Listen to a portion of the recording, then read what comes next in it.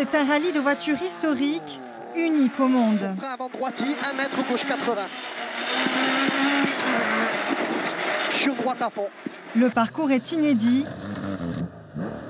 entre asphalte et terre.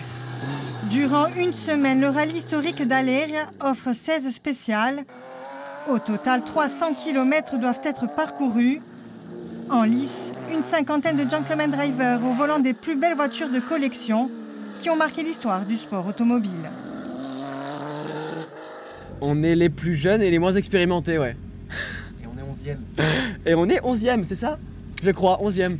Pas mal L'originalité et la difficulté de ce rallye, adapter la voiture aux différents revêtements. Pour être opérationnelle, cette Porsche doit être totalement transformée. Donc on change amortisseur et euh, on retire les barres anti-roulis de l'asphalte. En moyenne, il faut plus ou moins 3 heures pour la passer de d'asphalte en terre en faisant la géométrie complète. 3, 2, 1, c'est parti. Alain, quelle est la difficulté de la spéciale sur Terre? Ah, la difficulté, c'est que ça glisse beaucoup. Il faut maîtriser, il faut maîtriser le volant, la glisse, les pneus.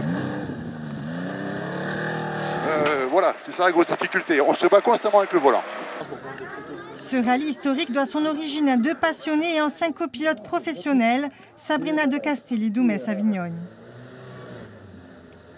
On n'a jamais pensé que ça allait prendre une telle ampleur. Aujourd'hui, euh, on nous parle peut-être euh, d'être en championnat de France.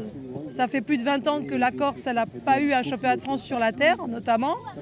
Et peu importe la suite, si on l'aura, si on l'aura pas, nous, voilà, on a fait ça vraiment euh, parce que c'est la passion, ça, sort des tripes. Ce rendez-vous sportif rassemble 200 bénévoles. Au-delà de la compétition, les pilotes découvrent de nouvelles sensations à travers les paysages de la plaine orientale.